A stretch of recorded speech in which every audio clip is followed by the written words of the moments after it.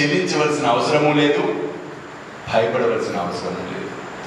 పక్క వాళ్ళని చూసి ఆందోళన పడవలసిన అవసరము లేదు. బాబా ఒక వారం కొబ్బరికాయ కొట్టగానే గృహప్రవేశం చేసిందిట.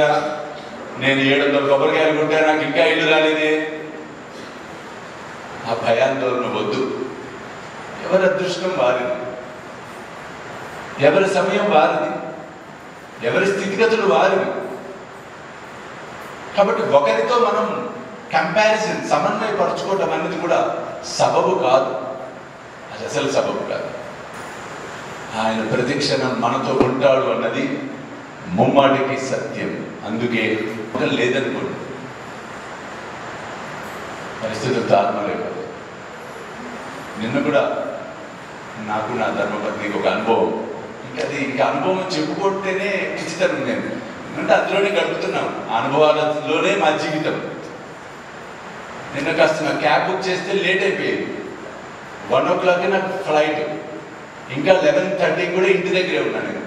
ఆ క్యాబ్ వాడి గణపతి పందిళ్ళు ఉండటం వల్ల ట్రాఫిక్లో చిక్కుపడి వాడేమో రాలేకపోతున్నాడు. ఇంకా అయ్యో అనుకుని ఒకటే అనుకుని ఏ మొదలు చూద్దాం. ఒకవేళ మిస్ అయింది నైట్ స్లీపర్ బస్సు తెచ్చుకుని వచ్చేద్దాం నేను పదకొండు నలభైకి వాడు వచ్చాడు. పన్నెండు ఐదు కల్లా ఎయిర్పోర్ట్లో ఉన్నాను పన్నెండు పది కల్లా లోపలికి వెళ్ళాం. సెక్యూరిటీకి ఐడి కార్డ్స్ చూపించి. ఆ స్పైస్ జెట్ కౌంటర్ దగ్గరికి వెళ్ళేటప్పటికి నా ఐడి కార్డు పడిపోయింది నా మిసెస్ ఐడి కార్డు చేతులలో పట్టుకుని టికెట్స్ లేవు. కిందంతా వెతికాం లేవు. ఇది విచిత్రంగా ఉందని నాకు ఒక నమ్మకం. లాస్ట్ టైం దుబాయ్ వెళ్ళేటప్పుడే నాకు కొంచెం హెచ్చరించాడు ఒరే నువ్వు బారేసుకుంటే ప్రతిసారి నేను ఎక్కడ వస్తారా నీకోసం? ఒళ్ళు దగ్గర పెట్టుకొని చూసుకోరా?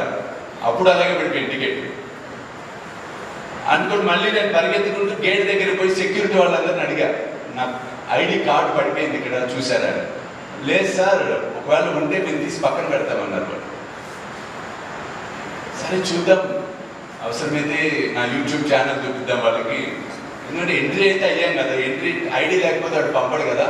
చూద్దాం ఏం జరుగుతుందని వచ్చేటప్పటికి మా మిస్సెస్ చేతిలో ఐడి కార్డు.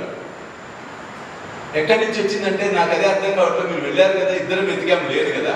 మళ్ళీ ఎందుకో నేను కింద చూసేటప్పటికి నా కాళ్ళ దగ్గర ఐడి కార్డు ఉంది. అంటే ఏం చేశాడండి ఆయన?